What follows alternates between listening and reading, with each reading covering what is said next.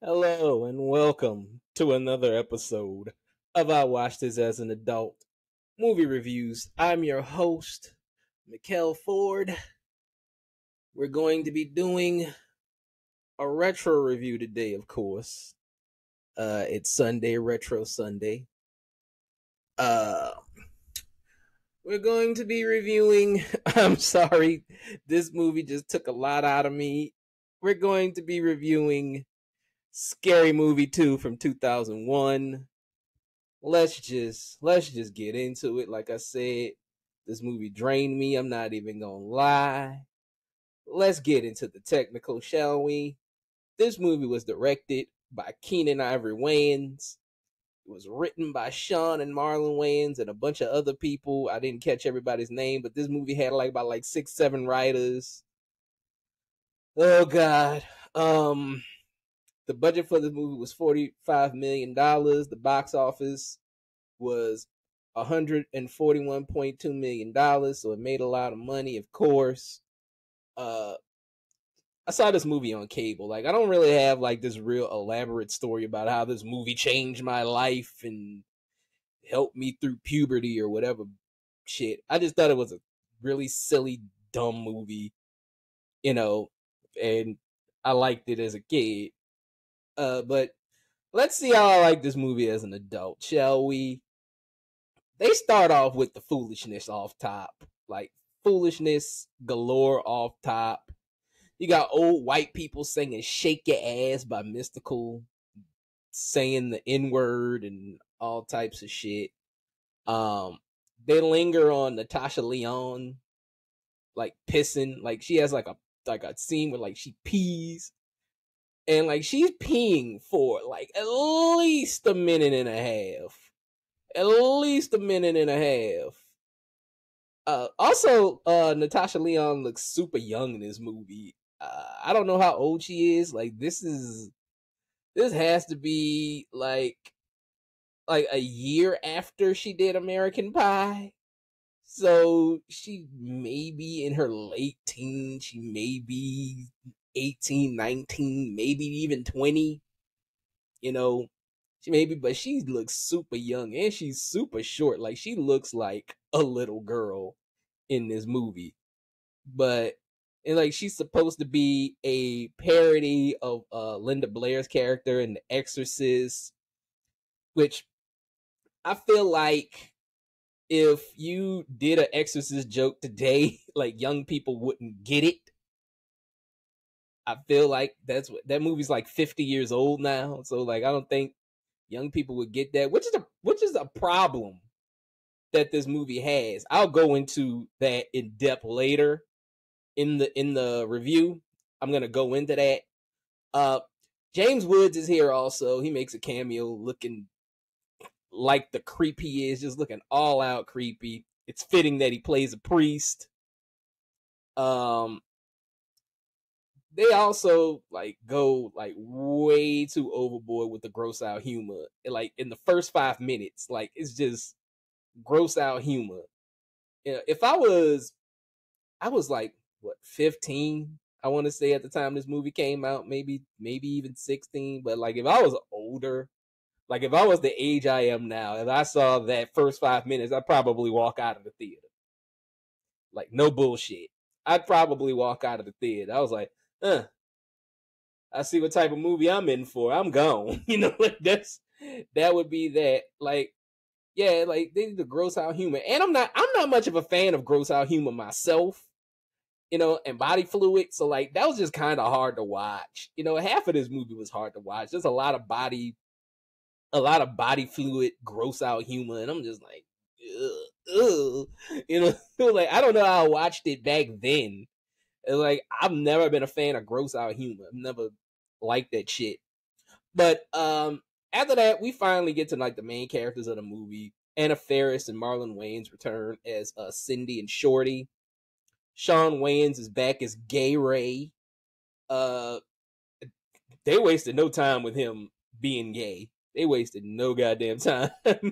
Where like the first movie, they kind of ease you into him being gay, they're like, nah, they push the limits with him on this one. Like he is overtly and almost offensively gay. You know, like every guy that he's around, he wants to fuck, or like he's taking, or he's taking like sexual advantage of, or whatever. You know, like it's just, it's kind of, it's kind of offensive in a way. You know, like where it was kind of subtle in the first movie, like they go overboard with with it in this one. Um, Regina Hall is back as Brenda, which I feel like she is like the overall highlight of this movie. I feel like she's the overall highlight of this movie because she's actually funny. Like she's the funniest thing in this whole movie. Uh Regina Hall is really good at slapstick humor. She really is that really good at slapstick humor. She's almost like a she's almost like a a modern day Lucille Ball. You know, and I don't think I don't think she gets enough credit for that. She does not get enough credit for that. Like she is she is a great physical comedian.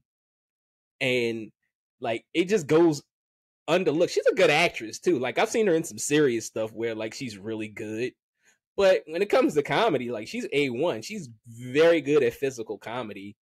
Uh but like she doesn't get a lot of credit for that. Uh but we also have new characters that join the crew. Uh, Chris Masterson plays Cindy's new love interest, Buddy. David Cross plays the white uh, paraplegic professor's assistant. Uh, we got Tim Curry here who plays a horny professor named Professor Oldman. Tori Spelling is in here as Cindy's new needy friend Alex. Uh, and Cat, uh, we got Kathleen Robertson in here as the sex pot of the crew, Theo. Uh, that's her. That's that's what she does. Um, we also have uh Chris Elliott here. Chris Elliott is here as Hanson, who is the caretaker of uh this place called Hell House, which is where the the the the kids are going to be the kids quote unquote will be staying. and like his running gag his running gag is that he has like this disgusting deformed hand. You know, like that's that's the running gag with him. He's like, yeah, he's gross, and he has a gross hand, and he touches shit with it, and he tries to touch you with it. Like, there's a scene in here where like he flat out just like takes advantage of a turkey, like just flat out just takes advantage of it. It's fucking gross. You know, like it's really, it's really gross. Um, there's supposed to be a plot here. There's supposed to be a plot in this movie about like they like I said, they're staying in a haunted house, in a haunted mansion, and there's this like underlying story that Cindy looks like the guy, the ghost. There's a ghost in the house, and Cindy looks like the ghost wife or some shit. But who really gives a fuck, really? Like they don't, because they don't give a fuck about the, the, the, plot. They give up on it. Like it, it's just gonna lead to like a hacky fucking joke anyway. Really, like that's all. It, that's all it leads to is hacky jokes. Like all the humor in this movie is either gross out humor or outdated references to other movies. Like, like some of these movies I forgot even existed. Like they make a reference to what lies beneath. Like, who even remembers that movie? Like, honestly, who remembers that movie? Like, uh, other than me, and I didn't even really see it. I remember, I remember the commercials for it. I believe it starred uh, Harrison Ford and Michelle Pfeiffer. I think like Michelle Pfeiffer was like possessed or something like that. I don't know the I don't really know the plot of it. I know Harrison Ford and Michelle Pfeiffer were in it, and it was supposed to be like a horror. It was like it's supposed to be like a horror thriller. I guess like Harrison Ford was cheating on Michelle Pfeiffer, and as like I said, I guess Michelle Pfeiffer got possessed by the side chick or some shit like that. I I don't know. I've never seen the movie, which is why I'm like, who remembers that movie? Because like no one talks about it. Nobody talks about that movie at all. I've never seen a video about what lies beneath. I've never even seen people bring up what lies beneath. You know, like that's a movie that's just lost in time. Um, I don't think Harrison Ford and Michelle Pfeiffer talk about what lies beneath. uh, Tim Curry. Let's let's talk about Tim Curry. Like Tim Curry got the fuck out of this movie while he still had his dignity, bro. Like he got his check and he said deuces. He said, "I'm getting the fuck out of here, man." And like, remember, this is this is a man that is dressed in drag. You know, like this is a man that was in Rocky Horror Picture Show. He played a goddamn transvestite. Uh, and he was in another movie called uh, Loaded Weapon One, where he played like a Girl Scout. He was like a Girl Tim Curry Girl Scout. Like this guy has done, uh, just like he's done these things. But scary movie was too much for him. He was like, "I'm get the fuck out of this dumbass movie." he was like, "Let me get my check, get the fuck up out of here, kill me." kill me off, you know, like and they and like they kill him off. You never see him. He's like the only person in this movie that stays dead because everybody else is like, oh, they're dead, but then they come back to life. You know, like Tim Curry is the only person in this movie that stays dead, and he's just like, yeah, keep it that way. I don't want to be associated with this shit no more. you know, like, you're like, give me what you owe me and get me the fuck up out of here. But like Tim Curry, like I said, Tim Curry does his part with grace and class, and he, cause like his jokes, he don't go like real far with his jokes. He's just like, oh, I'm a horny professor who likes to fuck co-eds. You know, that's that's his that's his uh that's his his shtick. That's his shtick. He's like, I'm just a horny old professor who likes to take advantage of co-eds.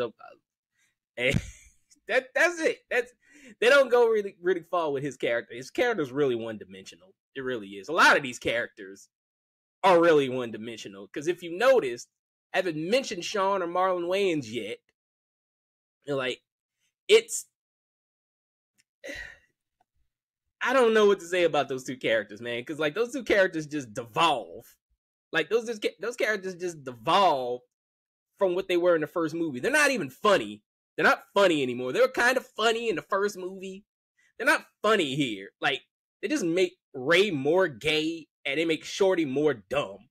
He's like, oh, Shorty's dumb and he likes weed and he might rob you. You know, like that was the running gag with with these two. And like Ray is gonna Ray is gonna take advantage of you. You know, like that, which is which now like that kind of sends the wrong like signal about gay people you know, like not gay people don't do that. They don't just attack every man they see. You know, that's not what they do. But like you couldn't do this movie today. You really couldn't do this movie today. this movie would get would get boycotted and picketed. You know, I don't think I don't think this movie would stand the test of time today. I really don't. Um I mean like the jokes are already outdated. I looked at all I looked at all these goddamn jokes. I was just like, oh my god. I was like, who remembers that shit? Like who remembers who remembers the basketball uh commercial? That was a that was like a I don't even remember what shoe store that was. I think it was Foot Locker. I think Foot Locker did like this commercial back in the day where it was just like a bunch of guys playing basketball. You know, like they were like playing basketball in rhythm or some shit like that. They make fun of that. I'm like, who remembers that shit? Nobody, nobody remembers that shit like fucking 22 years later. It was like, oh, okay, all right. Nobody remembers that shit. Like, this, the, there's probably this this movie has this movie has aged poorly. It is aged poorly. All the jokes of of, of the time uh, and it it was it's just oh god, it's just like who's gonna remember this shit? Like, what kid, what guy? Like, there's people that are like in their twenties now that were born when this movie came out. Uh, they they don't remember none of this shit. They don't remember none of this. You can't show anybody that was born in 2001 or 2002 and beyond this movie and they're gonna get it they're not gonna get it. I was like, this movie was this movie is very of its time, like very of its time. Uh, let's talk about Cindy. Cindy, Cindy is one dimensional too. I guess her running gag is like she's gonna end up sucking someone's dick, you know, because that's what they did with her in the first one.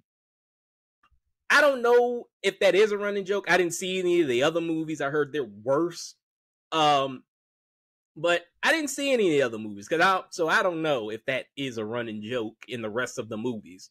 I stopped right here. I stopped at Scary Movie two. Fuck it.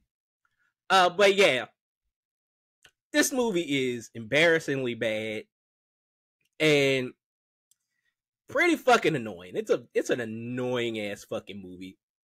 I can't believe I liked this shit as a teenager.